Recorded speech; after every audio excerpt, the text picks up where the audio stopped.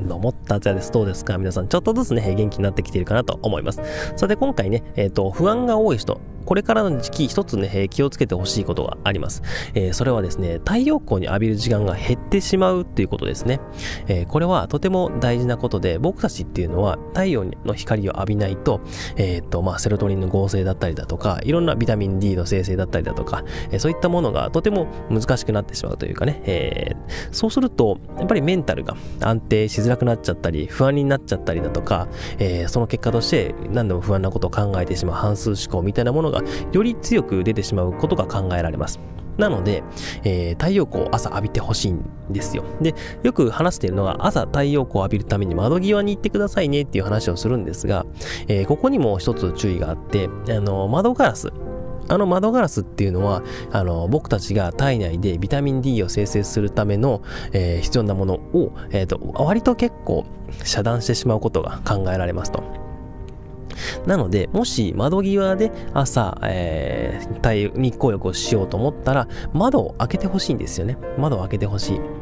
えー、でただね、そうするとね、とても寒いと思います。なので、ちょっと暖かい、えー、服を着るだとか、えー、暖かい飲み物を一緒に持って窓際で、えー、日光浴する。もしくはもう、外に出て朝散歩するっていうことですよね。朝外を散歩する。おすすめはね、やっぱり朝、外へ出て、朝散歩するっていうことなんですけれども、まあそこまではね、なかなかこう、メンタルの状態が辛いなって方は動きづらいと思ったりするので、まずは、えー、家の窓際で太陽光を浴びる。その時に、えー、窓、窓ガラスを少し開けて、ちょっとでもあの皮膚に直接太陽光が当たるようにしてみてください。そうやったちょっとずつの気遣い、自分に対するね、え気遣いっていうのがちょっとずつ自分のメンタルを安定させたりだとか、不安の軽減につながっていくと思います。そうやってちょっとずつちょっとずつね、自分のメンタルが回復するようなことを日常生活の中に取り入れて、それをルーティン化していってくださいね。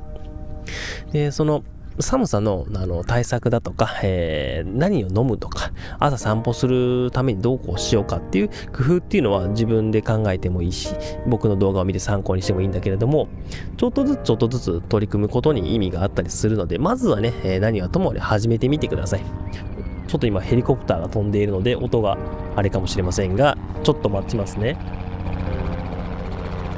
飛んでますね。はい。映るかな？映らないかな？はい。まあ、ちょっといいんですけども、えー、そんな感じで、えっ、ー、と、朝、えー、これからの時期ね、特に注意してほしいのが、日光に当たる時間が減っちゃいますと。で、そのために、太陽に浴びるために、ん？太陽朝浴びることっていうのを習慣化してもらっていると思うんですけども、その時間に窓ガラスをちょっと開けて、太陽光を直接浴びるっていうことをしてください。ただね、もう一つ注意点があるとしたら、あまりにも強烈な直射日光を浴びてしまうと、それはそれで暑くて痛かったりすると思うので、それはね、えー、適度に、えー、そのあたりを調整してみてください。えー、ほっとなんでしょうね、朝何か温かいものを飲みながら、ほっとしながら太陽光を浴びる、うん、そこから始めてみるっていうのも結構いいのかもしれませんね。で、やっぱりこれからずっとこう、なんでしょうね、日照時間がやっぱり夕方あたりからぐっとね、えー、早く、えー、日が落ちてしまったりするので、トータルの日照に当たる時間、日光に当たる時間っていうのが減ってしまうので、なるべく朝のうちに、えー、浴びるっていうことね、太陽光を浴びるっていうことを始めてみてください。何もこれは、あの夜、なんでしょうね、メンタルだけではなく、夜眠るためにも、えー、僕たちっていうのは朝太陽光を浴びるっていうのが結構おすすめだったりします。朝浴びて体内にえー、生成したものが夜に寝るもの寝るために必要なホルモンにね、えー、変換されたりだとかホルモンっていうとあれですか変換されたりするのでまずは朝太陽光を浴びる習慣からね始めてみてください。そのためにね、あのー、何でしょうね、そのためにっていうとあれですけども、あまり完璧を求めずにちょっとずつ 始めるところから始めてみてください。そして継続できるぐらい簡単にしといてくださいね。はい、そんな感じでね、えっと、今回っていうのは一つ、えっと、不安が多い人の、えー、これからの季節注意してほしいことでした。えー、朝、太陽浴びよう。ね。浴びるときにちょっと窓ガラス開けて、直接皮膚に当てるようにしようっていうお話でした。ではまたね、えっ、と、ちょっとずつ良くなると思うので、お別れする前に1回だけ、いや、3回だけ深呼吸してお別れしようかなと思います。いきますよ。鼻から息を吸って、口からゆっくり息を長く吐く。これを3回繰り返します。いきますよ。鼻から息を吸って、